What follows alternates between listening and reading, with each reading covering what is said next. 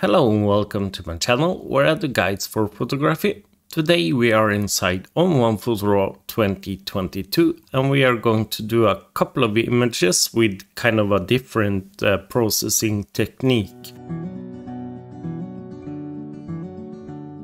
Now the first image we are going to do is actually an image of this rooster and the reason why we are doing this rooster is simply to try and do something different for once. So let's just jump in and get started with this one. So the first thing I want to do is to set the general tone. So I'm going to go up a bit on the contrast here and down a bit on the highlights. Let's move up the midtones quite a bit to around there and the shadows just a little bit and I'm holding down the J key to see if we are clipping or crushing any blacks and we aren't. So I'm just gonna set a black point, negative one, and let's do a white point as well. So I'm just moving up the whites until we are clipping and we are starting to clip there. So I'm going to back that white point off a bit. Let's just zoom in and see, yeah, the image is really sharp to start with, so, but I want to sharpen the image even more. So we should probably just get started doing that. So I'm just going to set the white balance first. And I kind of like that. Let's move into effects and I'm going to add a sharpness filter. So just clicking sharpening and I'm going to drop the opacity to around 80 and I'm going to go into the masking options and let's hit invert. And I'm going to paint the sharpening in on the bird itself. So I'm hitting Shift X to change from paint, paint out to paint in mode. And let's just do this a bit quickly. And I'll fast forward to where I'm done with the masking.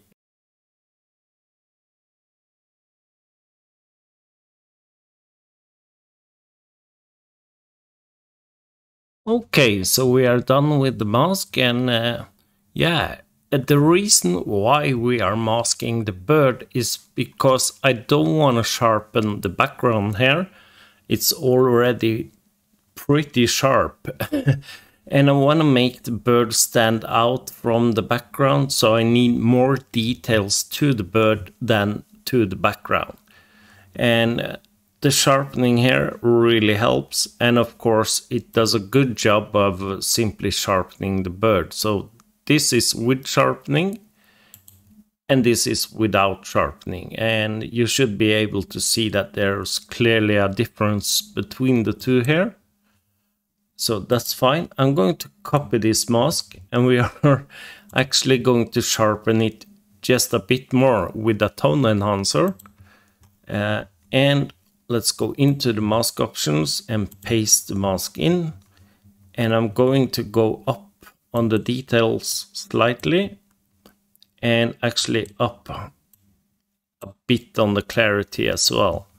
So it should be really visible what we did. So let's see, this is without and this is with. And that's great. Let's move into local adjustments and I'm going to hit detail on the preset here. And I'm actually going to go up slightly on the shadows as well. And I'm just gonna paint that into the eye of the bird here. So uh, let's just enlarge this a bit. And I'm just painting it in to the eye. And let's see this is without and this is with the local adjustment.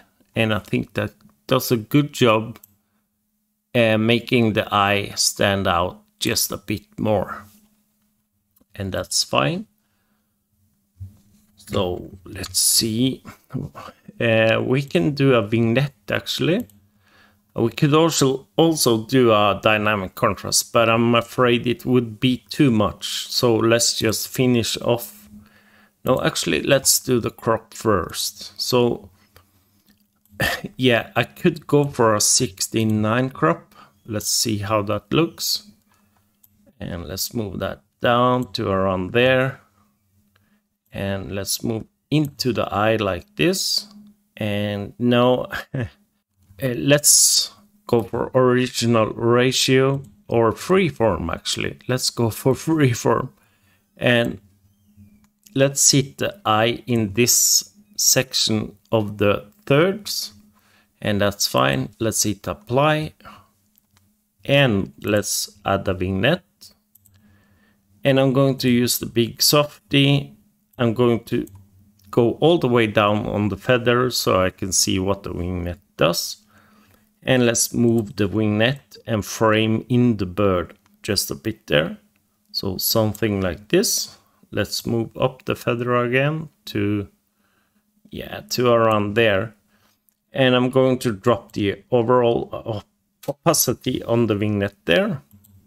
So this is without the vignette and this is with the vignette and I think this uh, really does a good job now the reason why I selected this image is, is because it tells a story you have the rooster walking in from the right side and you can see that it's going to walk all the way over and out of the frame on the left side. You also have a ton of leading lines into the bird here, so your eyes are automatically drawn to the bird. So it's a really effective image when it comes to composition. Uh, I don't usually do bird photos or animal photos, but uh, this uh, handsome rooster i had to i had to snap it and yeah. That's this image. Let's just have a look at the before and after. So this is where we started and this is where we are at and i think it's uh, yeah it's a nice conversion so the next image we are going to do what should that be Let's do this Viking. He's obviously telling a story. He's uh, narrating the story with his hands as well. And uh, it's a interesting image, but the composition isn't all that great. So we are going to fix that first. Maybe we should make it to a more portrait mode by using the crop tool. So let's go in and I'm just gonna hit this arrow keys. Uh, what that does is to change the uh, composition. Uh, let's just have a look there. Freeform, we have to have original ratio and do something like that. Let's move that down to around there and frame in this Viking or something like that. Yeah, like that. Hit apply. Okay, so let's see. He should be sharp, so let's see if he is sharp. Yeah, he's kind of sharp, so we need to fix that as well. Just gonna fix the crop here. I'm not entirely happy about the crop. So let's go for something like this. Fine. Uh, we can hit the AI auto to see what that does and I think maybe not so let's just reset that and do it manually so I'm going to drop the highlights because he has really a ton of highlight on this part of his forehead I'm going up a bit on the midtones up a bit on the shadows and we are going to set a black point. So I'm holding down the J key while I'm uh, going down on the blacks to around there. Let's go down on the highlights and we can try and set the white point and now yeah something like that and let's add some contrast yeah that kind of works all right, so let's do the white balance here. So hit the auto button and that's fine. let's go into effects and we are going to add a sharpening filter and let's have a look.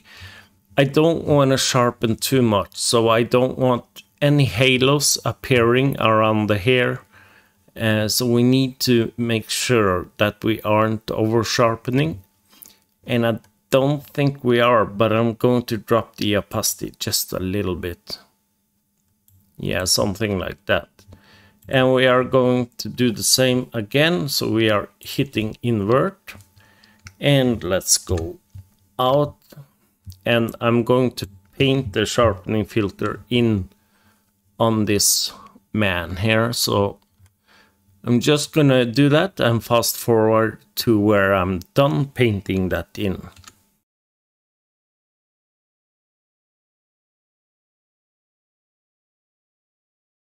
Alright, so we are done. it's not the best masking job I've ever done, but uh, yeah, it's going to be a bit rushed as I don't want to spend too much time doing the masking here. Uh, let's hit the O key and yeah, let's go in and have a closer look at the sharpening. And yes, I think it works. Now, one thing about older men is that high contrast really works well on females, it doesn't work well, but on older men, it really works well. So we can try and use the dynamic contrast filter to even make him more contrasty. And yeah, it might seem that it's a bit too much, but let's just keep it anyway. And what we can do is to copy the mask from the sharpening and apply that to the dynamic contrast filter.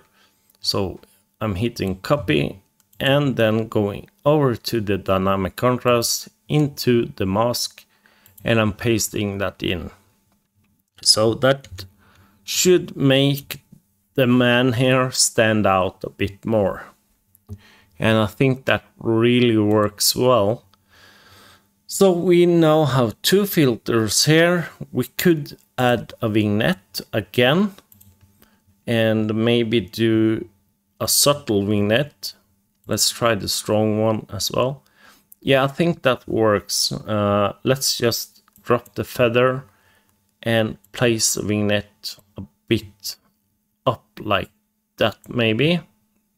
And go up on the feather again. And yeah, that makes for a strong image.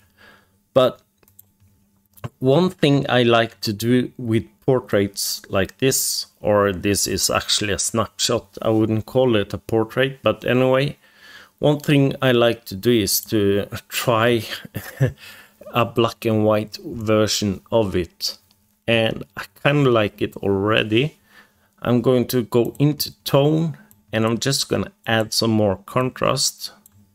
Maybe open the shadows a bit, but drop the blacks as well and I'm hitting the J key again. I don't mind crushing a bit of blacks on uh, portraits, but uh, not too much. And I need to drop the highlights a bit.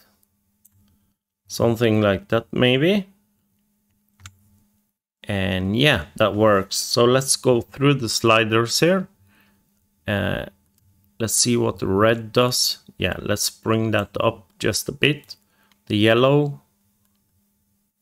Yeah, I kind of want to bring that up as well.